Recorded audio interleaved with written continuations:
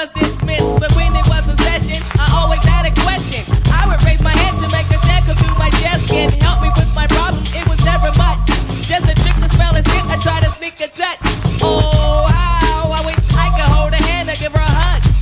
She was married to the man, he was a thug. His name was Lee. He drove a Z. He picked her up from school, probably at three. Oh,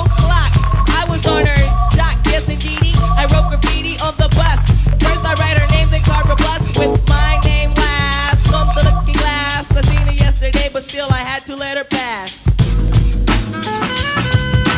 She keeps on passing me by.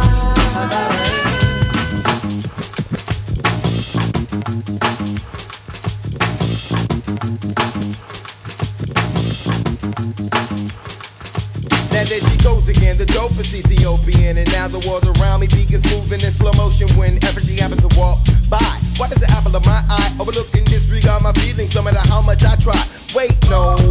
not really pursue my little princess with persistence, and I was so low key that she was unaware of my existence. From a distance. I desired her, secretly admired her, wired her a letter to get her, and it went, dear, my dear, you do not know me, but I know you very well. Now let me tell you about the feelings I've been for you when I try or make some sort of attempt. I simp.